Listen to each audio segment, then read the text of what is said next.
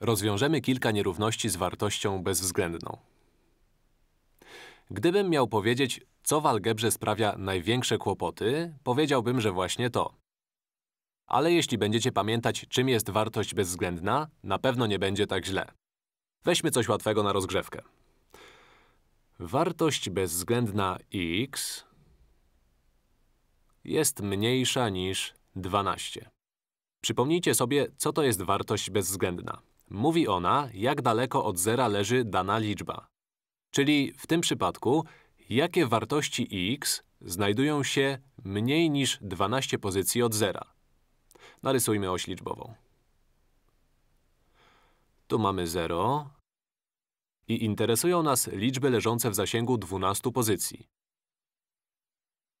Czyli wszystkie liczby do plus 12 i wszystkie liczby do minus 12. Wszystkie liczby między tymi liczbami będą miały wartość bezwzględną mniejszą niż 12. Będą mniej niż 12 pozycji od zera. To oznacza, wszystkie liczby większe od minus 12 Wszystkie te liczby na pewno będą miały wartość bezwzględną mniejszą niż 12, pod warunkiem, że jednocześnie będą mniejsze od 12. Jeśli liczba spełni oba te warunki, to jej wartość bezwzględna na pewno będzie niższa niż 12. Na przykład liczba minus 6 albo minus 11. Liczby spełniające te warunki spełniają także nierówność. To rozwiązanie tej nierówności. Była prosta, ale to dobry wstęp do kolejnych zadań.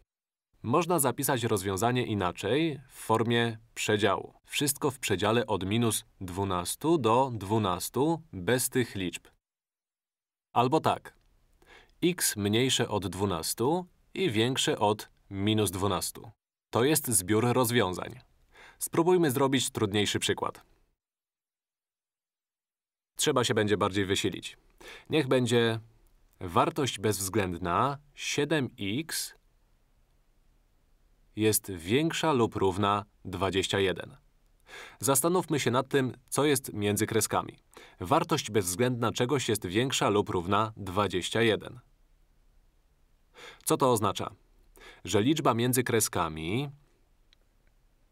że wartość wyrażenia między kreskami musi być odległa od zera o co najmniej 21 pozycji. Narysujmy oś liczbową. Wyobrażajcie sobie oś, a nigdy się nie pomylicie. Nie będziecie musieli pamiętać zasad. Niech tu będzie 0, tu 21, a tu minus 21. Chcemy, aby wszystkie wartości tego wyrażenia między kreskami wartości bezwzględnej były oddalone od zera o co najmniej 21 pozycji. Aby wartość bezwzględna nie była niższa niż 21 wszystkie liczby ujemne mniejsze niż minus 21. Jeśli weźmie się ich wartość bezwzględną, czyli usunie znak minus albo weźmie odległość od zera, to będą one większe niż 21. Wartość bezwzględna minus 30 jest większa niż 21. Tak samo tutaj. Wszystkie liczby większe niż 21 także będą miały wartość bezwzględną większą niż 21.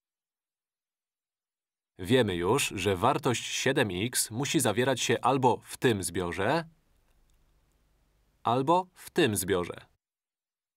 Napiszmy więc.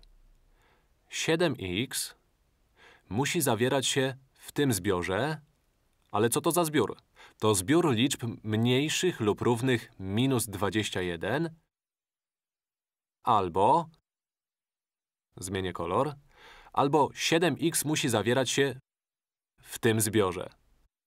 A to znaczy, że 7x musi być większe lub równe plus 21. Chcę, żebyście dobrze zrozumieli, co się tu dzieje. Jeśli wartość bezwzględna jest większa lub równa 21, to znaczy, że wyrażenie między kreskami musi być albo większe lub równe 21, albo mniejsze lub równe minus 21. Bo jeśli będzie mniejsze niż minus 21, to jego wartość bezwzględna będzie większa niż 21. Zrobimy jeszcze kolejne przykłady. W tym momencie mamy zwykły układ dwunierówności. Gdy podzielimy obie strony przez 7, otrzymamy x jest mniejsze lub równe minus 3. A dzieląc obie strony tego przez 7, otrzymamy x jest większe lub równe 3. Dla jasności, to co zaznaczyłem, to nie był zbiór rozwiązań. To zbiór wartości 7x, a nie x. Chciałem tylko pokazać, jakie liczby znajdują się co najmniej 21 pozycji od zera. To jest zbiór rozwiązań. x większe lub równe 3 lub mniejsze lub równe minus 3. To zbiór rozwiązań tej nierówności. Narysujmy kolejną oś. Tu jest 0, tu jest 3, a tu minus 3. x ma być większe lub równe 3, większe lub równe 3. To znak równości, albo mniejsze lub równe minus 3. Albo mniejsze lub równe minus 3. Zróbmy jeszcze ze 2. Dla niektórych mogą być trudne, ale wystarczy pamiętać, co oznacza wartość bezwzględna i zaczyna się rozumieć je intuicyjnie. Niech będzie wartość bezwzględna coś ciekawego. Wartość bezwzględna 5x plus 3 jest mniejsza niż 7. Te kreski mówią nam, że wyrażenie między nimi musi mieć wartość odległą o mniej niż 7 pozycji od zera. Popatrzmy więc, jakie liczby są mniej niż 7 pozycji od zera. Liczby leżące mniej niż 7 pozycji od zera to liczby mniejsze niż 7 i większe niż minus 7. Muszą leżeć w tym przedziale. Aby spełnić nierówność, wartość między kreskami, wyrażenie między kreskami, czyli 5x plus 3, musi być większe niż minus 7 i mniejsze niż 7 mniejsze niż 7, aby jego wartość bezwzględna była mniejsza niż 7. Jeśli wartość tego wyrażenia uplasuje się w tym przedziale, to jego wartość bezwzględna, odległość od zera, będzie mniejsza niż 7. Pozostaje to rozwiązać. Odejmujemy 3 od obu stron. Otrzymując 5x jest większe niż minus 10, dzielimy przez 5 i mamy x jest większe od minus 2. Teraz tu. Odejmujemy 3 od obu stron. 5x jest mniejsze od 4, dzielimy przez 5 i mamy x jest mniejsze od 4 piątych. Można zaznaczyć zbiór rozwiązań. Liczby większe od minus 2. Nie większe lub równe. I mniejsze od 4 piątych. Tak zapisuje się przedziały. To wszystkie liczby między minus 2 a 4 piąte, albo wartości x większe od minus 2 i mniejsze od 4 piątych. To zbiór rozwiązań tej nierówności. Dobrze zapamiętajcie ten sposób wizualizacji. Myślę, że dostrzeżecie już pewną regułę. Właściwie nie trzeba jej zapamiętywać, ale ją podam.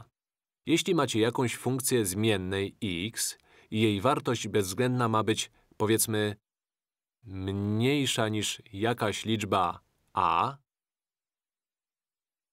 to sytuacja analogiczna do tej. To znaczy to, że wartość tej funkcji musi leżeć na osi w odległości od zera mniejszej niż a. A to znaczy, że wartość funkcji musi być mniejsza niż plus a i większa niż minus a. To oznacza to, a to z kolei oznacza wartość funkcji większą niż minus a i mniejszą niż a. Logika jest ta sama. To zbiór wartości leżących mniej niż a pozycji od zera. Spróbujmy w drugą stronę. Jeśli mamy wartość bezwzględną większą niż a, to znaczy, że wartość funkcji musi leżeć dalej niż a pozycji od zera. Czyli wartość funkcji jest większa niż plus a lub wartość funkcji jest mniejsza niż minus a mniejsza niż minus a, czyli na przykład równa minus a minus 1, albo na przykład minus 5 dodać minus a. Wtedy wartość bezwzględna równa się 5 plus a, więc na pewno będzie większa niż a. Możecie nauczyć się tego na pamięć, ale lepiej pomyśleć. To nam mówi bliżej niż a od zera, a to dalej niż a od zera. Zróbmy jeszcze jeden, bo ludzie mają z tym kłopoty. Radzę obejrzeć tę prezentację wielokrotnie. Niech będzie wartość bezwzględna… Wartość bezwzględna 2x… Weźmy może jakiś inny przykład, trudniejszy. Wartość bezwzględna 2x siódmych dodać 9 jest większa niż 5 siódmych. Wartość wyrażenia między kreskami musi znajdować się na osi liczbowej dalej od zera niż 5 siódmych.